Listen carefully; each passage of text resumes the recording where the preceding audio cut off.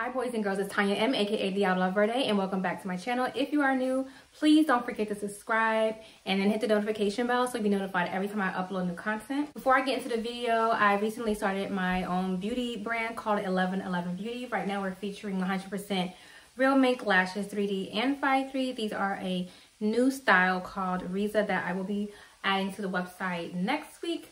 So if you're interested, go ahead and click the link in the description box below. So I did record this video last night. I'm not sure if I'm going to put that one up or this one. However, the uh, the installation of this wig is better right now. So I'm going to try to get it out to you looking good.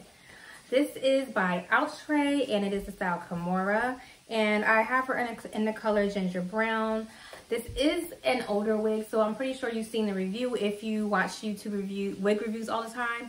For those who are just looking to see what it looks like. Here you go, sis. Well, I did purchase this from Ebony Line for the low, low, under $30. Um, it is under $30 on a lot of websites right now where it is available. However, if you can find it somewhere else besides Ebony Line, aka shophairwigs.com, uh, please do. I'm not happy with their shipping or customer service, but yeah. This is a regular T-part wig it is HD lace, but it's not really much room to do any customization, aka plucking and whatnot, um, because the lace stops like right here. So I just did some customized baby hairs and um, laid her that way. I did try to pluck, but the lace is really soft, like it's HD lace, and the knots are rather large. They're not as big, but they're large, and it just tore some of the lace. Just go ahead and style her. She's a one of those ready to go, easy to style wigs and just appreciate her for being that. Um, I do like this style. She does remind me of a unit called Dasha. It recently came out. I think it's by Outre. I'm not sure. But um, it is Dasha is thicker and she's a 13 by 4. So if you do like to customize your units, I would suggest you get that one. I'm pretty sure it's a color similar to this.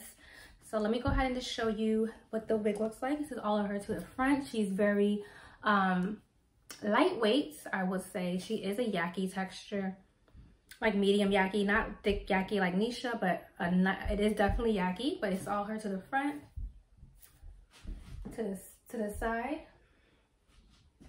to the back. She's layered a lot, but her longest layer is probably about 22 inches long. I would not say this is big head friendly. I have a lot of my hairline showing. I still try to lay the lace down, but it's pulled up because it's aren't directly on my hair. Shedding, it has been shedding, but not a whole lot. Remember, it's a synthetic wig. It's going to shed a little bit, um, but no more than human hair. I could say that. Anyway, I really don't have anything else much to say about this unit. If you have any other questions, go ahead and comment down below. Thank you guys for watching. Bye.